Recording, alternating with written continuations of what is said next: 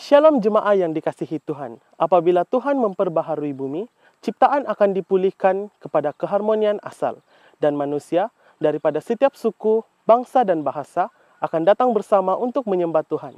Berikut disampaikan kegiatan-kegiatan dalam dan luar paroki kita.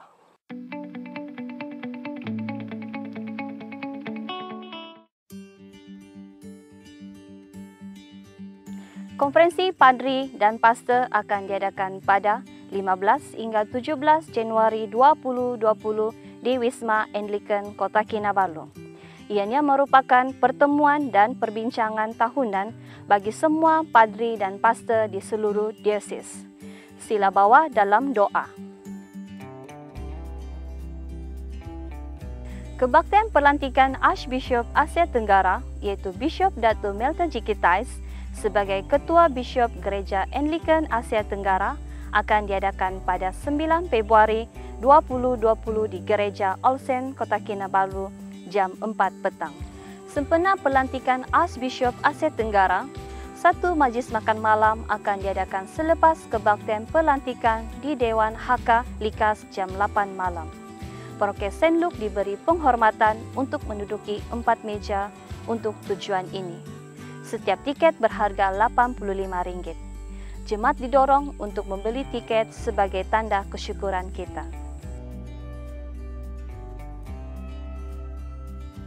Global Leadership Summit akan diadakan pada 21 hingga 22 Februari 2020 di Pusat Lembah Berkat Telupit.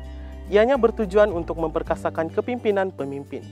Latihan ini ditawarkan kepada para pemimpin paroki seperti PCC, pemimpin awam, pemimpin sel dan pemimpin yang berpotensi serta jemaah.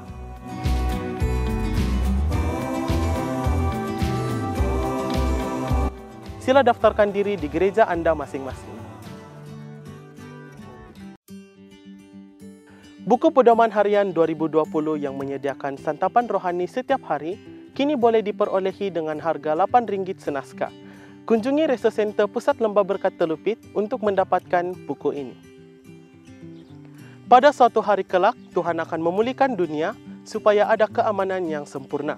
Sekian sahaja pengumuman untuk minggu ini. Tuhan Yesus memberkati.